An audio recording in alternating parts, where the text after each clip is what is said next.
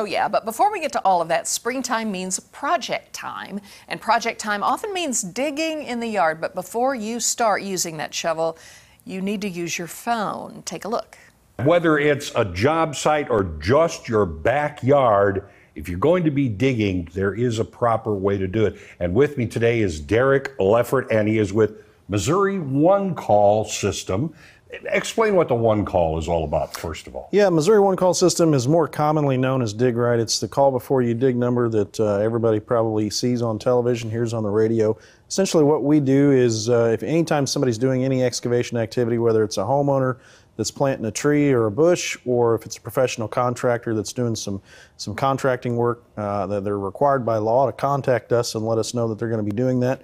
And then what we do, our, our role really is to contact all the utilities that are in the area, let them know excavation work is going to be taking place, and then they go out and you see paint marks, you see flags all over the ground. Right. That's that's essentially what our system is is there to do. Okay, and uh, you know, sometimes when people hear the word excavation, they think, well, I'm not going to have a backhoe in here. I'm not going to have a bulldozer. I'm just digging a hole with a shovel. Right. Still applies. It is, yeah, it does, and that's actually that's a that's a very good point. A lot of people think, well, if I'm just using a shovel, I'm only going six inches, you know, I don't I don't really need to call. But actually, generally, where people are doing that kind of work is where those underground utilities are buried. So the law actually requires doesn't matter if you're using a, a track hoe, backhoe, or a garden hoe, you're they're required to call. Well, then let me ask this: anywhere on your property? I mean, I think we all assume that that any kind of uh, utility is going to be around a periphery or maybe in a straight line for where we see a junction. Right. Not necessarily so. No, it's not. And you know, there's a lot more utilities that are going in the ground now. You see a lot of fiber to the home projects.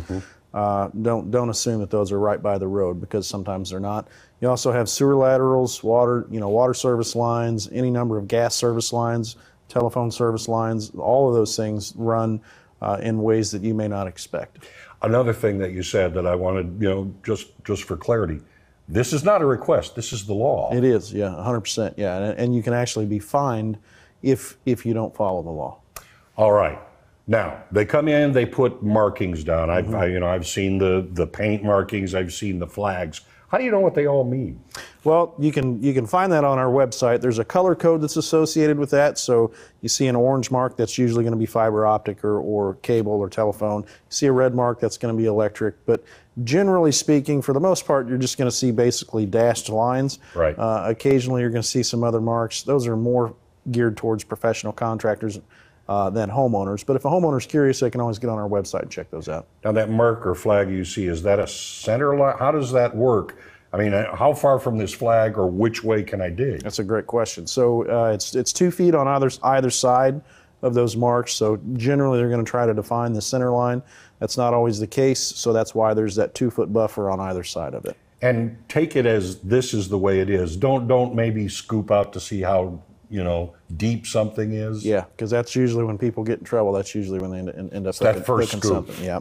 All right. If if people want to uh, be able to find more information about this or learn about this whole process, how do they get that information? Well, the, probably the best source of information for them is going to be our website. It's www.mo1call.com. A lot of information there for both homeowners and professional contractors. We would encourage anybody uh, to check that out. And if they need some, if they have questions or need additional information, they're welcome to call our office. And it's basically if you're going to dig, call first. Yep, it's the law. Yep, All right. and it's free. There, free, and remember, it is the law. Yeah.